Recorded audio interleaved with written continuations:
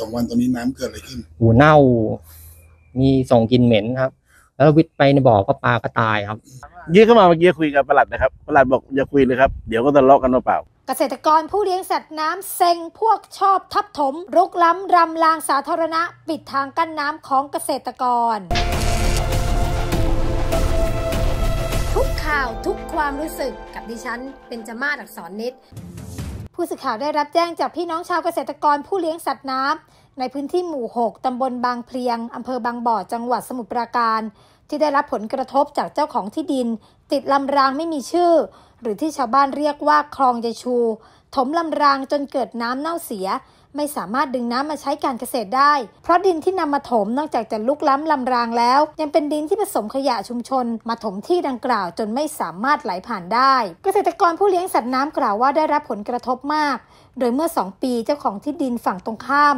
ปักเสาหลักเขตลงกลางลำราง จนเรือโป๊ะ ขุดลอกคลองของอบตบางเพียง ไม่สามารถผ่านไปได้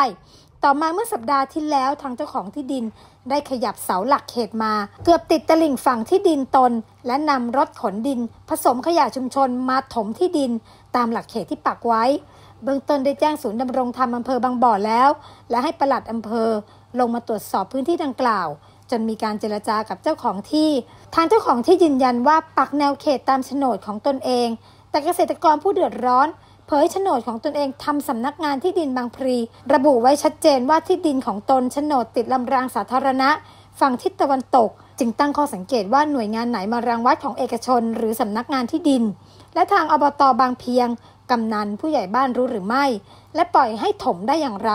ใครอนุญาต เพราะลำรางเส้นนี้ ถือว่าเป็นสายหลักที่ชาวเกษตรกรผู้เลี้ยงสัตว์น้ำบนพื้นที่กว่า 40 ไร่ ในรัศมี 2 กิโลเมตร ยังใช้งานอยู่ ปัจจุบันไม่สามารถนำน้ำมาใช้ได้ เพราะไม่มีการไหลเวียนของน้ำจนน้ำเน่าเสีย เดือดร้อนหนักมากๆ อยากให้ท่านผู้ว่าราชการจังหวัดสมุทรปราการ หรือหน่วยงานที่เกี่ยวข้องเข้ามาตรวจสอบ เพราะเข้าใจว่าคลองหรือลำรางสาธารณะไม่สามารถทับถมได้ เพราะผิดกฎหมาย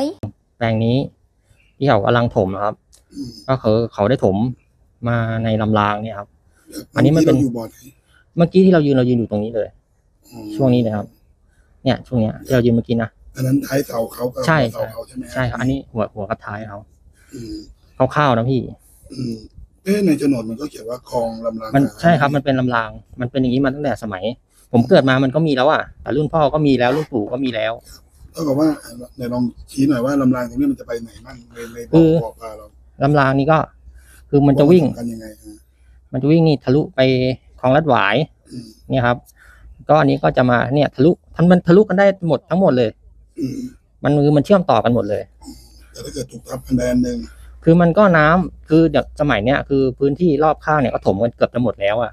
คือน้ำทั้งหมดอะมันก็จะมาลงในลำรางเนี่ยถ้าเกิดลำรางนี้โดนถมไปอะน้ำก็จะท่วมในบริเวณเนี้ยครับเพราะว่ามันไม่สามารถที่จะระบายออกไปในคลองใหญ่ได้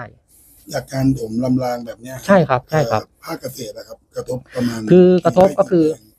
ที่ก็คือในในหมู่เรานะครับครับผมก็คือรบสำหรับสองแปลง แล้วก็รอบๆที่ใช้น้ำในในในในพื้นที่ตรงนี้ครับที่ต้องใช้ลำรางนี้ใช่ครับกระทบ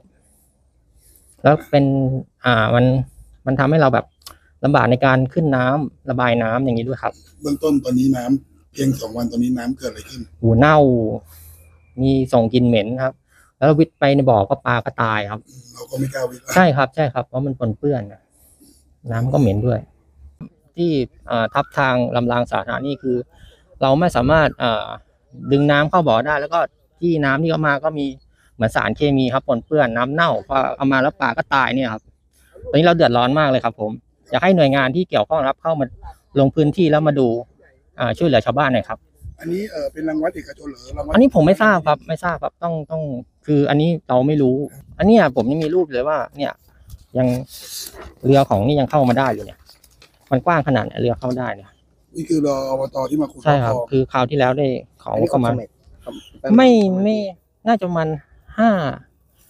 ห้าแปดห้าเก้านี่ครับอยากให้ช่วยดูแลไอ้เรื่องนี้นะครับ เพราะว่าเรามันเดือดร้อนเรื่องบ่อเรื่องน้ำอะไรเนี่ยครับตอนนี้ทำอะไรกันไม่ได้เลยวิทย์เข้าออกวิทย์ออกอะไรทำอะไรไม่ได้เลยครับอ่าเบื้องต้นรางวัดเขาก็ไม่ได้เรียกเรา ครับ ไม่เรียกไม่ดูอ่าก่อนหน้านี้ได้แจ้งทางเจ้าของที่อย่าง ตรงไหนครับ แจ้งแจ้งเจ้าของที่ยังหรือว่าแจ้งความยังเจ้าของที่เพิ่งมาคุยเมื่อกี้มาคุยเมื่อกี้เนี่ยเขาบอกเขาว่าเขาว่าเขาหาว่าฝั่งเนี้ยขุดอะไรกลางคืนนะขุดมาโคติดกลางคืนแต่หลักฐานอะไรก็ไม่มีไม่ได้มาดูแลประมาณว่ายี่เข้ามาเมื่อกี้คุยกับประหลัดนะครับประหลัดบอกอย่าคุยเลยครับ เดี๋ยวก็ทะเลาะกันเปล่าทุกข่าวทุกความรู้สึกกับดิฉันเป็นจมาศอักษรนิด